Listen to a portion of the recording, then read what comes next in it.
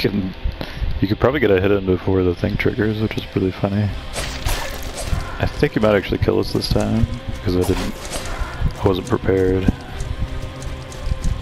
But who knows? He's not that difficult of a boss, so we could probably still beat him, even with the janky build.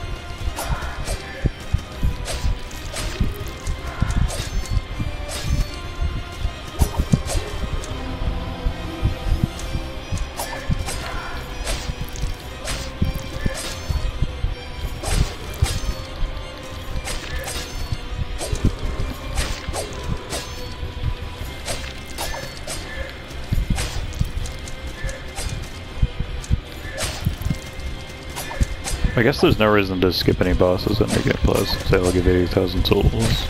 Such an insane amount.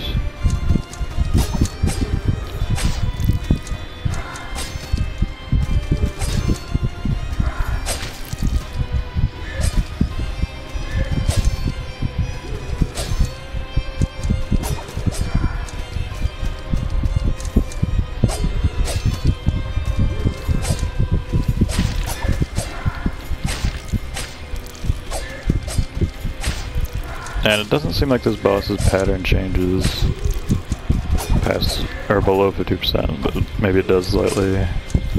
I'm just not aware of how. This is probably just the easiest boss in the game, as it were. It's, it was the first boss that I killed in the first try. Though we killed the latter half in the first try, which is pretty consistent with the Souls series. Usually you get into a groove and then a bunch of bosses in a row go down easily after some of the early ones are challenging.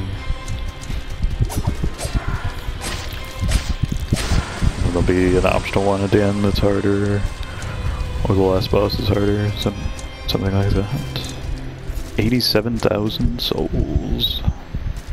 Worked hard for it.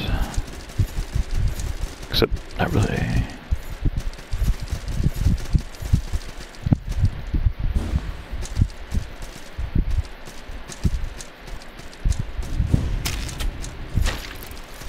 Oh yeah, Ben, it's